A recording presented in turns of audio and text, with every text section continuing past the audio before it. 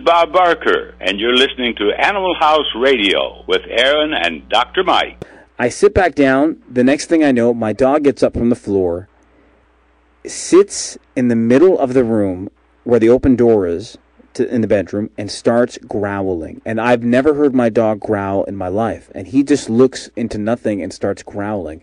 I immediately turn on the light, and he's just standing there, sitting there, excuse me, growling, and his the back of his neck and with the hair standing up, growling. And it's not a loud growl; it's just a, light, a very light growl. And I just sat back and and I start putting things into perspective. TV going on and off. Why is my dog doing this? And to this date, he has never done this before. And he's just staring at something. And I, at this point, I started to get a little bit nervous and a little bit, uh, I'd say, kind of scared. And, I, Yeah, and I, I, would be a little unnerved at that point in time Yeah. myself. I, I got up and I started making some sounds and and I sat back down and my dog Romeo he came back over and he lied on the bed beside me and he lied right on the bed looking out towards the door. The TV didn't go back on and he stopped growling but he he he laid right beside me and I I, I kind of guess maybe in his little way just to maybe felt kind of my energy that I was upset or whatever it was. And to this date, I do not know what happened, but all I know is this is that three or four years prior to this, there was a story that something someone else in that room had a different experience and heard voices. And it was it was dismissed. And the fact that when I was there with the dog, this happened, and this is the only time this has ever happened. This is my only experience that I could say. And to this day, I- I can't explain it. It's one of those things where I know my dog. You know your four animals and your Sure, of course. And and the way that I mean, give me your opinion from from your experience and the type of person that you are. How these things happen, the energy that goes back and forth, and how maybe animals can be more perceptive to these things than we can. they don't have all the clutter that we have.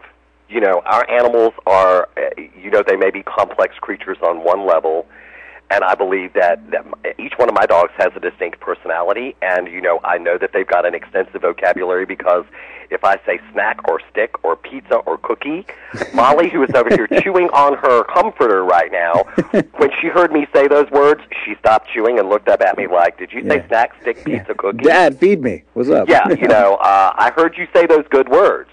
They have an extensive vocabulary, but in other ways, their lives are simple. Yeah. They don't have email and Gmail and XYZ mail and a, a, landline and a computer and a cell phone and a television with HD and, you know, blah, blah, blah, blah, and a car and all this stuff. It, you know, you love them, you feed them, you let them out, you, you do the normal things that one does for a pet, and that's their life. I believe that out of that level of sensitivity, and and and well, out of that level of simplicity, that there is a sensitivity that comes hand in hand with that. I'll give you another example. I'm sure you've seen your dog take a toy or something and shake it very, you know, back and forth in their teeth. hmm That's not something that a dog should be doing.